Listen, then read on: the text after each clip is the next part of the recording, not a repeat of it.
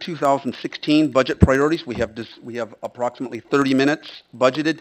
Um, and we're, we're not going to be really tight on the time, but I think given the hour, we'll try to keep it to 35 or 40 minutes. I have about five minutes, maybe not quite, four minutes worth of comments that I want to make as we move forward. I'm sure it will, these will elicit uh, debate and discussion.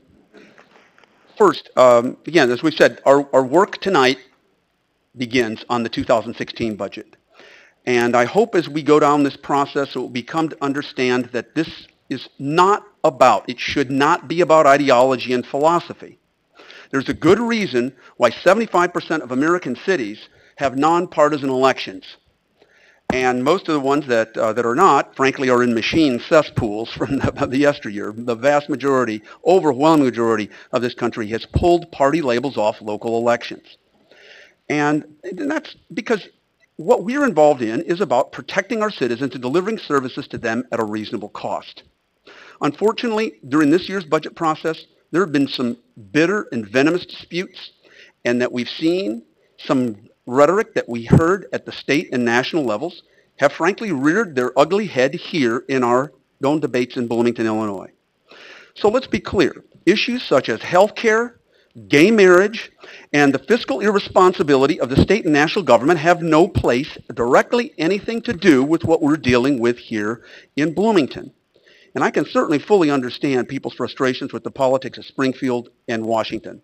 I mean, when, when you hear these polls that 87% of people disapprove of Congress and 9% approve, I kind of wonder, the 9%, what do you approve of, right?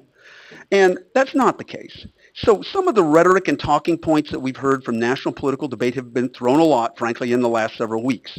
This doesn't help our, prog our progress making progress in our community? Quite the contrary.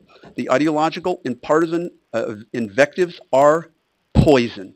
They're not going to help move us forward. And as most any observer of local government in the world will tell you, political scientists, policy analysts, public administration people, there are very, very few ideological leaders that are successful in local government. They don't make it, or they realize, oh, all that ideological crap that I've been fighting at the national level doesn't apply here at the local level. In the United States, we had a few people called sewer socialists about 100 years ago that got elected during the progressive era in Detroit and some other places in Milwaukee, and they realized, oh, uh, I guess I have to deliver public services, forget all that ideological stuff.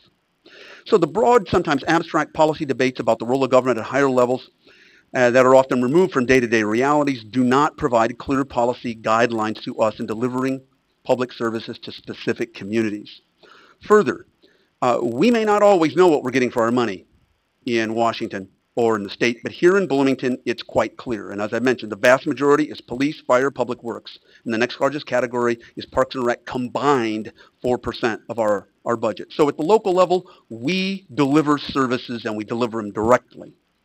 So if some of our citizens don't want even inflationary costs in our services, uh, so national political, you know, talking points such as government needs to live within its means, well, that's fine. But then at the local level, that means we here in Bloomington have already shed almost 100 positions. The logical follow-up question is, what large group of people do you want to lay off or what core functions of the city of Bloomington do you not want us to, to con- excuse me, continue to deliver? So the tire hits the pavement here in Bloomington. That's our reality. And my last introductory point is that as we move forward in this discussion, and we're going to throw a lot of, ideas out, and I'm sure, you know, we're not going to agree. We're human. That's going to happen. But we must have good data. And otherwise, we are fooling ourselves or we're promising people a free lunch. And there are no free lunches. Now, some may say I'm a stickler for data, and that may be true. I've been involved in local government decision making for nearly 30 years, and literally when I was at the International City County Management Association, I literally wrote the book on for them on how you use data in making local government decisions about 25 years ago.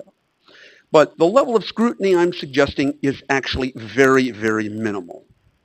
And that is, if we're talking about items, and especially we're talking about budget cuts, there at least ought to be four things that I would assume every reasonable person could agree on.